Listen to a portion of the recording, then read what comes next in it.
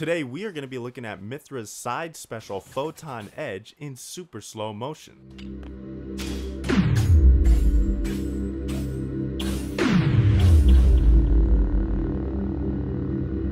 An interesting thing to note about this attack is she actually reappears for the next strike before disappearing from the previous strike, creating a brief image of two Mythras on screen.